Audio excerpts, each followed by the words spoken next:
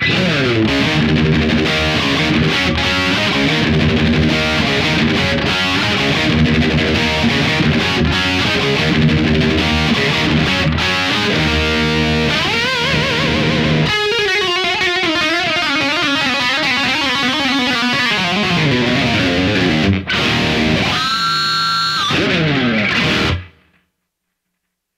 はい、今回は低音源を刻むロックギターリフの弾き方のワンポイントレッスンしてみたいと思います。先日もギター教室で実際にレッスン、えしていたんですけれども、冒頭のデモ演奏で弾いた x ジャパンの曲に出てくるリフパターンなんですけれども、こういったリフパターン弾いていく上で、えいくつか注意点ありますので、その中でですね、今回は2つえー2点紹介してみたいと思います。で、え今タブ譜出ておりますが、えこれ半音下げて今回弾いております。でゆっくり弾くとこういうフレーズです。 One, two, three, four。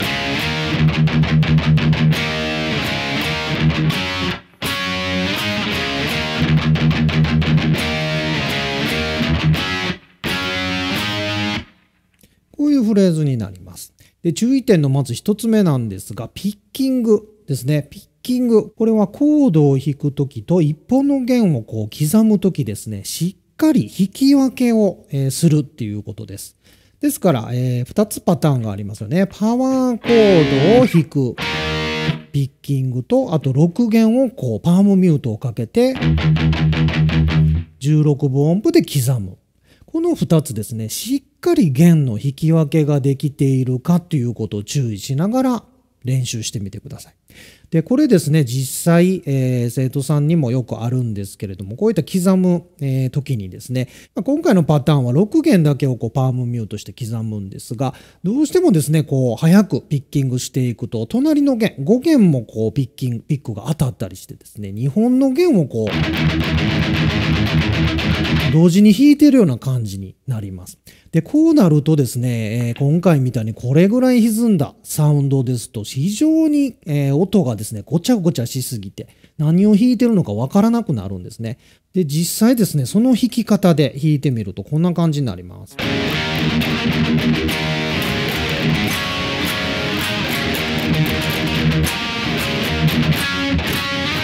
で、速度上げてもですね、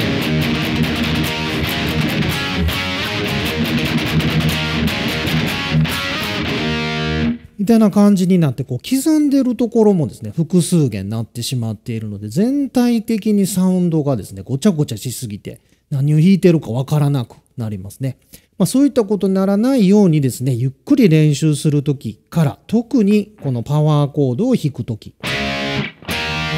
と6弦だけを刻むとき、しっかりピックをその狙いの弦に持っていって6弦だけ、え1本だけを弾くときはもう5弦当てないようにコンパクトな動きでですね。このような感じで16本を刻むと。まずそれが1つ目です。で2つ目はですねパワーコードの時。今回は5弦ルートと4弦ルートのパワーコードが出てきますけれども。これまあいつも私言ってるんですがまあパワーコード押さえる時は特にそうなんですが、えー人差し指ですね、えー常にこうルートを押さえることになると思うんですが1本上の弦に指先をも当てておいてミュートするということですねでそうしてやることで特に今回なんかは4弦ルートえー6弦を16部で2つ刻んだ後にですねこの4弦ルートのパワーコード弾かないといけないのでこれ実際6弦を2回ダウンアップで弾いた後に4弦の上にですねピックをこう的確に持っていくというのが非常に難しいんですね。でその場合に、えー人差し指の先で5弦をミュートすることができていればもう5弦からですねピッキングしても4弦と3弦しかならないと。そういうような状態を左手で作ってやれます。そうすると多少ですねこの、え6弦2回刻んだ後にきちんと4弦の上にピックを持ってこれなくてもですねもう5弦から少し大きめのストロークで弾いても4弦3弦しかならないと。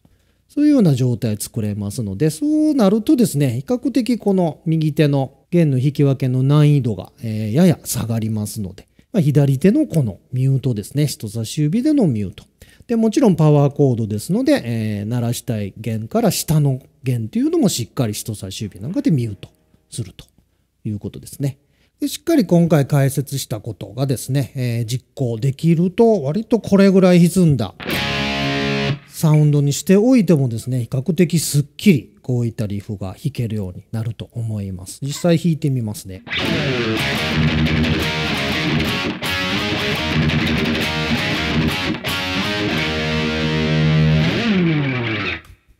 このような感じですね。ですから逆に言うとですね、やはり、えー、右手のピッキングの、えー、引き分け、弦の引き分けができていなかったり、左手のミュートがきちんとできていないとですね、少しこう歪ませすぎたような、えー、サウンドっていうのはもう使えなくなってしまうんですね。何を弾いているかよくわからなくなってしまいますので、そのあたりのテクニックがしっかりできるようになると、こう音作りの仕方っていうのもですね、どんどんこう選択肢の幅が広がってきますので、ぜひ、えー、今回紹介した2点、えー、ちょっと注意してですね、練習してみてください。現在、コータミュージックで運営しておりますプレミアムチャンネルではこういったギター演奏上達に役立つ解説動画すでに200本以上ご覧いただけるようになっております。ご興味おありの方はぜひホームページをチェックしてみてください。ホームページの URL はこの動画の下の動画概要欄に貼り付けております。あと今回の動画なかなか良かったよと思っていただけた方はチャンネル登録と高評価よろしくお願いいたします。この度はご視聴いただきまして誠にありがとうございました。